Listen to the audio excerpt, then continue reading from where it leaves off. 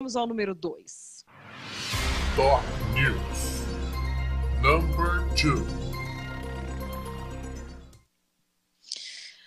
Bom, Brasil, por que que nos Estados Unidos, quando o caminhoneiro para, não falta combustível? Primeiro porque tem ferrovia e depois porque o governo, em vez de ficar fazendo um mundaréu de coisa que o governo daqui faz e que não tinha porcaria nenhuma que fazer, ele faz o trabalho do Estado e ele tem uma reserva de 180 dias de combustíveis para todo o país, que serve para tantos momentos de caos, como que a gente vive agora, quanto para equilibrar o preço dos combustíveis. E é por isso que a gente ficou assim muito surpreso quando viu que a equipe do Steven Spielberg estava aqui no Brasil. E eles estavam assim muito alarmados com essa questão dos combustíveis. Há um flagrante que circula pela internet, nós fizemos o nosso fact-checking e é verdadeiro. Na tela.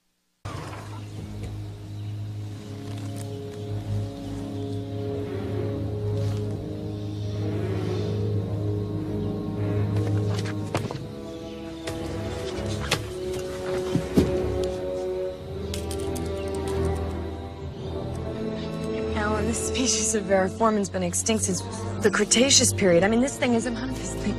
What?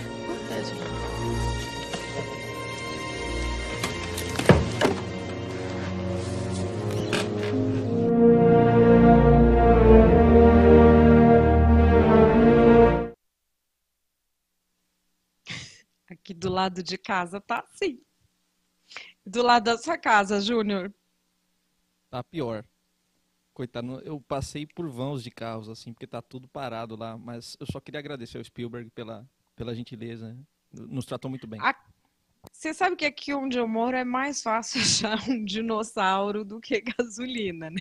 Porque aqui dinossauro tem. Vaca, Não é uma tudo. coisa que falta, né? Aqui é tão no meio do mato que ainda tem dinossauro.